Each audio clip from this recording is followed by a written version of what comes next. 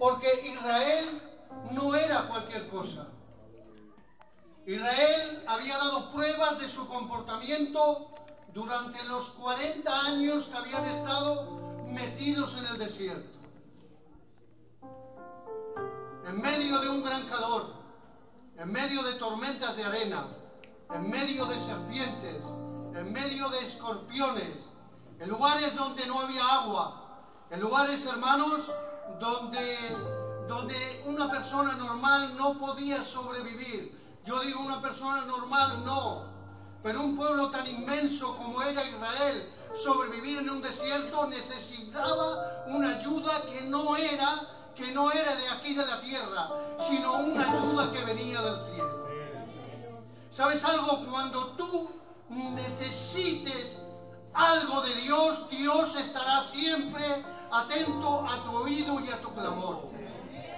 ¿Sabes por qué, hermano hermana? Porque la tierra, la tierra en la que vivía Israel, ya he dicho, ni el ejército de los Estados Unidos podía dar de comer a tantas personas y mantener los hermanos vivos en ese desierto por 40 años.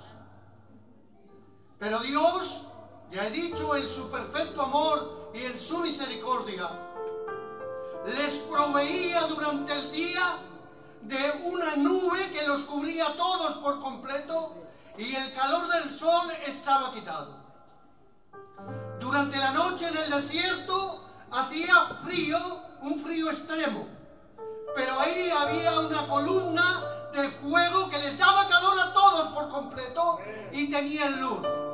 A ellos Tenían la promesa de Dios, la promesa de Dios que es el que Él iba a estar con ellos y que no los iba a abandonar y que no los iba a dejar solos.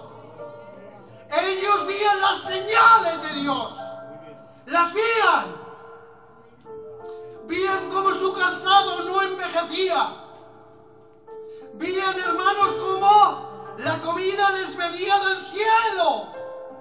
El pan de ellos, dice la Biblia, que era comida de los ángeles, el maná del cielo. Dios era como un reloj, no paraba de cumplir sus promesas con Israel. Pero el corazón de Israel no era conforme el corazón de Dios. Ellos estaban allí, en el desierto, y en el desierto se hacía la prueba cada uno a sí mismo de lo que Dios daba a entender a cada uno de sí mismo lo que podía dar de sí. En el desierto hablaban mal de Dios. En el desierto se acordaban de la esclavitud en la que ellos vivían. En el desierto, hermano, no veían las maravillas que había, ni cómo Dios había, había vencido sin ellos mover un solo dedo al ejército más poderoso de Asia que existía en aquel tiempo, que era el ejército de Faraón, rey de Egipto. Ellos habían pasado por las aguas, habían visto el mar rojo abierto, las maravillas de Dios, habían entrado en la tierra. Moisés había muerto, se había quedado allí, pero Dios había puesto un sucesor llamado Josué. Y la primera prueba que tiene Josué es esta. Tiene que pasar un río. Y yo digo, de la misma manera que estuvo Dios con Moisés, también estaba con Josué. Porque pasaron el río, hermanos, sin mojarse los pies. Pero cuando ya entran dentro de la tierra prometida, todos lo saben, los de 40 años, hermanos, no habían podido entrar, sino que era una generación nueva. Era alguien nuevo, exceptuando Caleb y Josué. Josué estaba al mando de un pueblo duro, rebelde, criticador, murmurador y no agradecido a las cosas de Dios, hermano, con lo que Dios había hecho con ellos. La atención? Que van entrando en la tierra prometida y van venciendo los enemigos que se ponían delante de ellos. ¿Y saben lo que ocurre? Que Josué era el general de ellos. Era el que mandaba sobre ellos. Pero ahora, ¿qué ve? Ve algo, hermano, sorprendente. Ve unas murallas que posiblemente llegarían a la altura de la pirámide de, de Gizeh, de Kefren y de Micerinos, altas, grandes, poderosas. Y ahora habla con Dios y le dice a Dios, Señor, ¿qué puedo hacer yo aquí ante estas murallas de Jericó? ¿Qué puedo hacer? Si tú no haces algo conmigo, Señor, yo no puedo hacer nada, Dios mío. Tienes que hacerlo tú. ¿Sabes algo, hermano? Yo intento hoy de ser directo y de no rodear. Hay veces que las murallas de Jericó, altas, grandes, y espesas, y la gente que hay ahí, se revuelven en contra de ti. Y aunque no son tan grandes como parecen, a ellos les pareció muy grandes, hermanos. ¿Sabes algo? Cualquier problemica que venga a tu vida, si no estás con la presencia de Dios en tu vida, si no estás lleno de Dios en tu vida, te van a parecer tan alto como las murallas de Jericó. Pero tiene que haber un momento en su vida, hermano, y tiene que haber un momento en su vida, hermana, que tiene que entender que aquello no se puede caer así sin más ni más. Si Dios no interviene, entonces todos, todos los que estamos aquí, estamos perdidos. Cuando se levanta en contra de nosotros, hermano, la muralla de la indiferencia, la muralla de la desobediencia, la muralla del desánimo. ¿Qué ocurre en nuestras vidas, hermanos? Que es que a veces Dios hace esto contigo, de alguna manera aprovecha tus enormes defectos que tenemos, para que te des cuenta que detrás de todo el mal que tú puedas ver, está Dios ahí siempre para ayudarte. Siempre está Dios para ayudarte ahí. Hermano, Dios no te abandona. Dios se encuentra contigo. La crisis, hermano, es el barómetro del cristiano y el barómetro de la cristiana. Cuando faltan las cosas en tu casa, cuando ves que, que, no te llega para alcanzar, o te cortan la luz, o te cortan el agua, o no tienes ni seguro para el coche, hermana, no te llega para pagar el ocurre cuando no hay trabajo? Pues que viene el desánimo en nuestras vidas, hermanos, y empieza a ser como una gran muralla que se levanta en contra de nosotros. Yo he visto en un diccionario bíblico arqueológico cómo podían ser las murallas de Jericó, hermanos. Las murallas y las ruinas de Jericó todavía existen todavía se pueden ver, lo puede mirar usted, hermano, en cualquier diccionario bíblico. Pero en aquel tiempo eran más fuertes y más grandes de lo normal. Y yo digo, los problemas de hace miles de años siguen siendo los mismos problemas para la gente de aquel tiempo que para la gente de ahora. Pero la única diferencia que hay es que estamos ahora en la gracia y en la bendita misericordia de Dios y que tenemos un abogado que está dispuesto a defenderte, un abogado que está dispuesto a ayudarte. El Hijo del Dios viviente. Está aquí para tenderte una mano y ayudarte porque Él sabe que usted está necesitada, hermana. Y Él sabe, hermano, que usted está necesitado, pero Dios quiere algo. Dios quiere que se plante delante de la muralla de Jericó y le diga a Dios, Señor, yo no puedo hacerlo, Señor. Yo no puedo derribar esto. Si tú no me ayudas, Señor, no podré. ¿Y sabes lo que ocurre con esto, hermano? Que cuando una persona está en esta situación, lo que hace es que ya no depende de sí mismo, sino que depende de Dios. ¿Cuántas personas creen esta palabra? Levanten la mano conmigo, digan conmigo amén. Estoy viendo desde aquí, hermanos, que hay gente que está muy distraída. Y yo estoy intentando de sacar lo mejor de Dios. Yo no soy de los que dicen, digan amén o digan gloria a Dios, que Dios bendiga a los hermanos. Yo solamente predico la palabra del Señor. Pero para poder predicarla necesito un poquito de atención. Mire, cuando ellos por medio de la oración hablan con Dios y Dios les dice lo que tienen que hacer, les dice algo tan sencillo como esto. Durante siete días rodearéis Jericó. Lo dice así la Biblia, lo dice así, ¿no? Y al séptimo, al toque de la trompeta, clamaréis todos y las murallas se caerán delante de vosotros. Hermano, si hubiera sido una prueba de álgebra, una prueba de trigonometría, una ecuación imposible, no lo hubieran podido hacer. Pero es que era tan fácil lo que le había pedido Dios. La victoria residía en la obediencia a Dios. Tu victoria, hermana del coro, reside en que obedezcas a Dios. Tu victoria, hermano mío, reside en que obedezcas a Dios en todo lo que Él te diga. En la obediencia está la bendición de Dios. Y en la humildad, hermanos, está el ensalzamiento de Dios. Quiero que sepas algo. Que los ojos de Dios están puestos sobre ti en esta tarde. Los ojos de Dios están puestos sobre ti. Él te está mirando, te está observando, está ahora mismo haciendo un escáner de tu pensamiento y de tu corazón. Él sabe que tú estás aquí. Él sabe lo que tú estás pensando ahora mismo. Él sabe la verdadera intención con la que yo estoy predicando este mensaje de la palabra. Él sabe que yo no lo hago por darme a ver. Él lo sabe. Si no, estoy seguro que me dejaría mudo aquí mismo Quiero que sepas algo. En la obediencia a Dios está la bendición.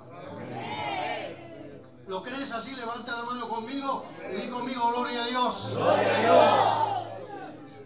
Primer día, segundo día, tercer día, cuarto día, quinto, sexto, al séptimo Dios cumple su palabra. Oye, ¿por qué no se le había dado en un instante? ¿No se ha parado usted a pensar en esto, hermana y hermano? ¿Por qué lo que tú le estás pidiendo a Dios no te lo da al instante? Porque se necesitan siete días perfectos, siete días porque Dios hizo el mundo en siete días y el siete es el número de la perfección. Para que tú te doblegues completamente delante de Dios, le reconozcas a Él, le obedezcas y cuando te pongas delante de Él estés purificado. Por eso dice, bienaventurados los limpios de corazón, porque ellos verán a Dios. Los limpios de corazón. El que es limpio de corazón, hermanos, dice la Biblia que para el limpio, si no recuerdo mal, todas las cosas son buenas. Todo le parece bien. Dice él, juzga, pero a él no le juzga a nadie. Quiero que sepas, como he dicho, que en la obediencia está la bendición de Dios. Pero mira ahora, Dios les dice esto después de haberle dado la victoria. Les dice esta palabra cuando entréis en Jericó, acabar con todos los que hay ahí. Miren, lo dice la Biblia, hermano. Dice, matar a todos vuestros enemigos, no dejéis a nadie vivo. Pero de lo que hay allí no toquéis nada. Ya vale, ¿no? No es una prueba de trigonometría, hermanos, ni de álgebra, ni una ecuación imposible está hablando con ellos conforme es el hombre. Le dice, al séptimo día caerán las murallas, entraréis dentro, acabar con vuestros enemigos porque yo estoy con vosotros. Pero no toquéis nada de lo que hay allí. Y dice la Biblia que un hombre toma un manto babilónico bordado en oro y toma un montón de piezas de oro que estaban allí, las esconde en su tienda y no dice nada. Y no pierdas el hilo, hermanico, mi hermana. Hay predicadores que predican la palabra de otra manera. Ustedes, si no me conocen cómo son, yo soy así. Y no estoy ofendiendo a nadie, ¿no? Escúcheme bien. Uno de ellos no respeta la palabra de Dios se guarda el manto, se guarda el oro y lo esconde debajo de la tierra. como mira para arriba y no ve a nadie, como ve allí a Josué que tampoco le dice nada, él lo esconde y lo guarda. Y no dice ni una palabra a nadie. Pero yo digo, su familia lo sabía. Su familia de él lo sabía. Pero él no dice nada. Y su familia tampoco habla nada. Ahora el propósito de Dios era que continuarían hacia adelante. Y este es el mensaje de hoy. Cuando les toca la ciudad más insignificante y pequeña que hay. Hay dos traducciones de la palabra Jai con H. H-A-I. Hay dos traducciones. Una significa el montón de polvo y la otra significa el montón de ruinas. Ahora hablan, Josué habla con ellos y les dice estas palabras. La gente que estaba allí, no te molestes, manda dos o tres mil hombres solamente y con eso ya está. Dos o tres mil. Pero dice la Biblia que aquella ciudad era pequeña, pero lo que había detrás de las murallas era muy grande. ¿Sabes lo que te hace a ti perder lo que tienes de Dios? Humildemente te lo digo. No son las cosas grandes, son las cosas pequeñas. Son las cosas pequeñas lo que te echan a perder. Como dice la Biblia, las zorras pequeñas echan a perder las viñas. Hoy en día una mirada, ah, no tiene importancia. Otro día ya son dos miradas, no pasa nada. Otro día se extiende la mano, ah, no es verdad. al otro día la misma mano dos veces, no importa. Y vas dejando y, te vas abandonando y te vas dejando y poco a poco sin darte cuenta Jai se ha levantado en contra de ti. ¿Cómo pudieron vencer los de Jai a un ejército tan perfecto que era el ejército de Dios con victoria asegurada de antemano, porque Dios estaba con ellos, viendo milagros imposibles, sencillamente porque se confiaron demasiado en ellos mismos y su límite era que los dejáis no eran nada, ya te digo, tu límite no puede ser que las pequeñas cosas sean pocas cosas, cuando acabo de decir ahora mismo que son las pequeñas cosas las que te echan a perder a ti y a mí. Un día dejas de venir al culto, lo digo por mí, yo no lo digo por ninguna hermanita, ni ningún, un día dejas. Te llama el pastor por teléfono, no lo cojo. No me interesa que me llame el pastor. Vengo al culto más tarde de lo normal para que el pastor no me mande a predicar. Fíjate lo que estoy diciendo, que, lo hago yo, que mis hermanos no lo hacen, que soy yo. Me pongo en un por ahí y pongo la cara como que estoy mirando al techo, para que no me manden a hacer nada. Pero poco a poco me dejo, me dejo, me dejo. ¿Y qué es lo que le sale aquí al hermanico Ángel? Le sale su carácter, le sale su humanidad. Las pequeñas cosas que no tenían valor al principio, porque me he dejado, no he orado, no he buscado, me he dejado, he dicho palabras que no debía de decir. ¿Y qué me ocurre? Que Jai se ha hecho un gigante y no lo puedo vencer si Dios no está conmigo.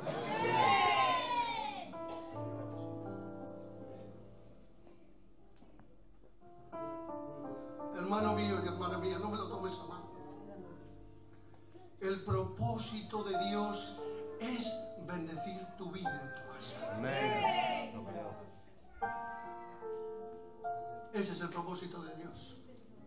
Hoy en día, hermanos, eh, el otro día estuve mirando un vídeo, un cachito solo por internet, aunque yo me lo conocía ya de memoria la historia. Decía de esta manera, ¿Cómo derrota el diablo a los cristianos? pues lo voy a ver, porque no tengo miedo, hermano. Yo al demonio no le tengo miedo. Sí, muchísimo respeto. Muchísimo respeto, pero no miedo. No le tengo miedo. Ni a todos los demonios que se puedan representar, no tengo miedo. Pero mira, mira lo que te digo. ¿Cómo el diablo derrota a los cristianos? Pues te lo voy a decir lo que vi allí. Hay una convención gigantesca y el diablo, que Dios lo reprenda, llama a todos los demonios de la tierra y les dice estas palabras. Con los cristianos no podemos. No podemos con los cristianos. Y todos dicen, así es, no podemos con ellos. ¿Qué vamos a hacer? No podemos quitarlos de que vengan al culto. Así es como yo lo vi. No podemos quitarlos que lean la palabra. No podemos quitarlos que oren. No podemos quitarlos. Pero dice el diablo que Dios los reprenda. Dice esta palabra.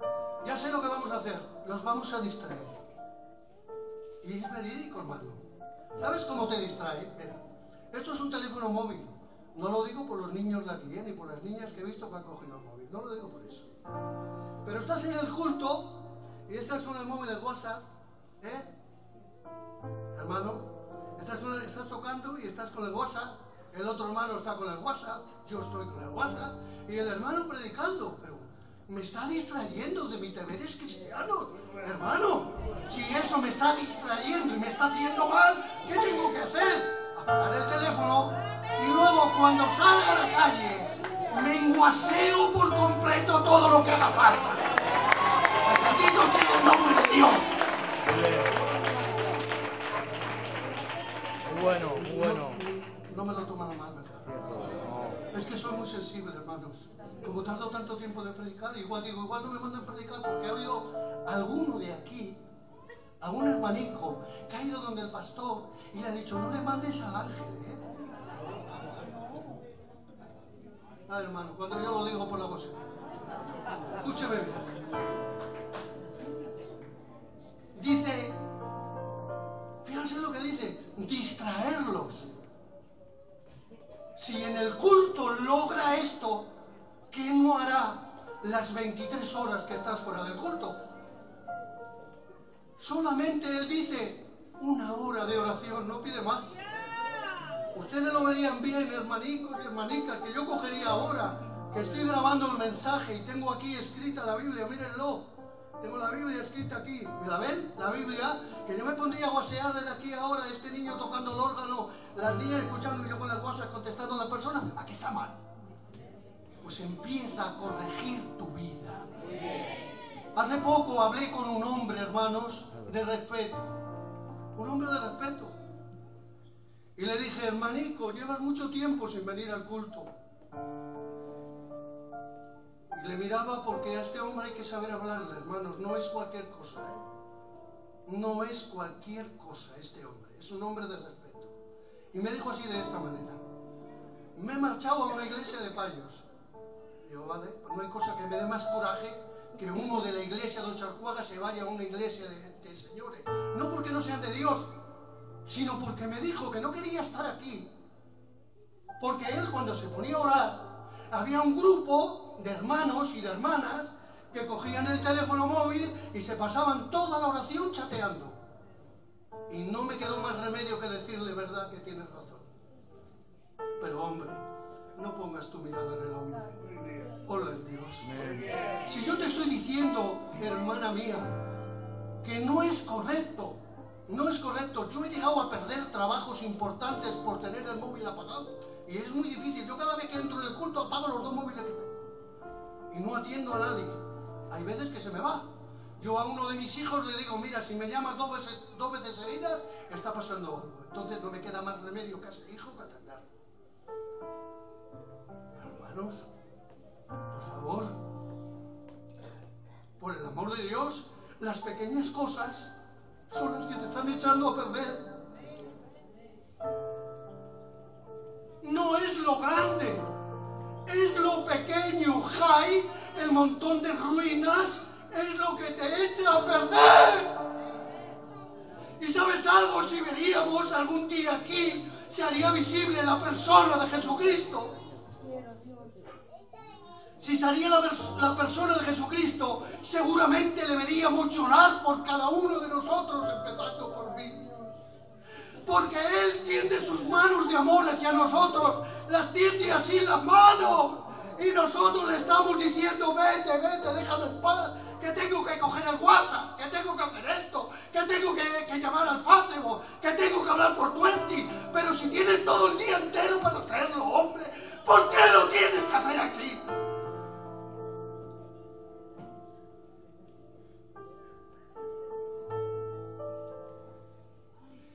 Biblia dice que en lo postero de los tiempos el amor de muchos enfriará. Dice, pero el que persevere hasta el fin, este será salvo. Se enfriará. ¿Y cómo se enfría? Hermano, una persona fría no se reconoce a sí mismo que está fría. No se reconoce. ¿Me entiendes? No se reconoce. Una persona fría no se reconoce. A un tibio sí se le reconoce. A la legua, ese es un tibio. Pero uno frío no, porque vive en la apariencia, trata de esconderse, no quiere que nadie se dé cuenta de los defectos que tiene. Bendigo el nombre de Dios. Viene al culto con un paraguas encima y, nadie lo ve, es un paraguas invisible. Dios manda lluvia, Dios manda bendición, manda el cielo entero sobre él, eh, el Espíritu Santo y él está con un paraguas, todo lo que Dios le está hablando, está rebotando en el paraguas, hermano no quiero ser un tibio, hermano. No quiero ser una persona fría, yo quiero ser una persona llena, llena, llena del amor de Dios. En la bajada. Pero fíjense bien, según el libro del arte de la guerra que fue escrito hace 2500 años por un general chino llamado Sun Tzu, mire lo que dice. Cuando veas a tu enemigo en lo alto de un monte, no ataques. Oye, tiene razón. Porque en aquel tiempo, en lo alto, hay muchas piedras, las piedras ruedan y, los mataban a todos. Pero es que aquí Israel fue vencido en la bajada. ¿Pero por qué? ¿No se ha parado a pensar en esto? ¿Por qué cuando descendían fueron vencidos? Pues muy fácil, hermano. Porque de 3.000 hombres que fueron, 36 murieron, solamente 36 nada insignificante para una guerra. 100 flechas en el aire, 100, 100 personas que morían. Hermano mío, 36 murieron solamente y en la bajada, descendiendo, fue cuando, cuando ya, ya no pudieron hacer más. ¿Qué te quiero decir con esto, hermano? Voy a terminar rápidamente. Que son las pequeñas cosas lo que te echan a. Es lo pequeño. Lo pequeño, mira, voy a hablar con todo el amor de Dios, de verdad. La criticación, Ángel, la murmuración, yo, no digo a nadie más, yo solo. El no estar contento con lo que tienes dentro de la iglesia. Hermano, eso te echa a perder por completo. Bendito sea el nombre de Dios. ¿Quieres alcanzar algo, hermano? Mire, yo en mi vida espiritual solamente he cantado dos coros públicamente en el culto. Dos. Mire, uno lo canté en el culto viejo cuando Jaimito iba a la guerra. Fíjense los años de esto. Pues igual 30 años, ni me acuerdo. Y me salió bien. Pero mire lo que me pasó. Me marché al culto de Bermeo y me quise cantar el mismo coro, el mismo. Me lo hice de maravilla. Apagué las luces, voy a cantar un coro. Pero canto el coro y no pude cantarlo. Y me sentí tan mal que ya no volví a cantar nunca más. ¿Por qué? Porque yo no soy llamado a cantar. Yo tengo una voz bonita, vamos, creo yo. Pero no es mi lugar, no es mi lugar. Tienes que conformarte en el lugar donde tú estás. Porque aquí hay obreros que han dejado su vida, hermanos, su vida, su juventud la han dejado aquí en el Evangelio, hermanos. Han ido a lugares imposibles, yo he ido también, no tanto como ellos, pero también he ido. Hemos ido a sitios, hermanos, grandes donde no se hacen los regalos que se hacen aquí en Ochalcuaga, donde nos hemos despedido de la iglesia y nos han dicho, no vengas más. Por no decir otra cosa, donde no hemos recibido nada.